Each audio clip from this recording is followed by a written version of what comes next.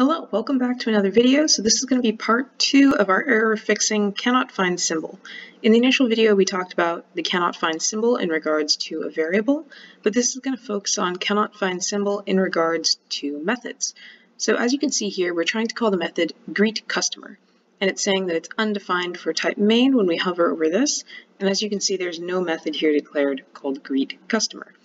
And in the console it's mad, it's saying I can't find this symbol, well, if we look in the other worker class that we have here, we can find the method greetCustomer, and it's set as public. So some of you might be wondering, wait, why, why is it not finding it? It's set as public.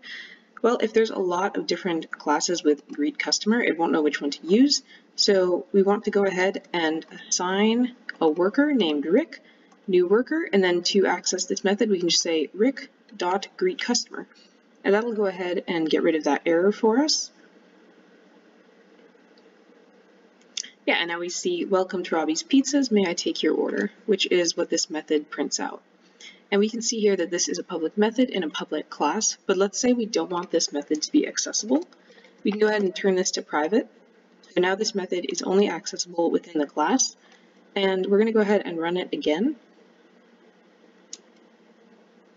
And now we see that the compiler is mad again. It's saying there's only private, private access to this method. So yeah, it's not happy with that.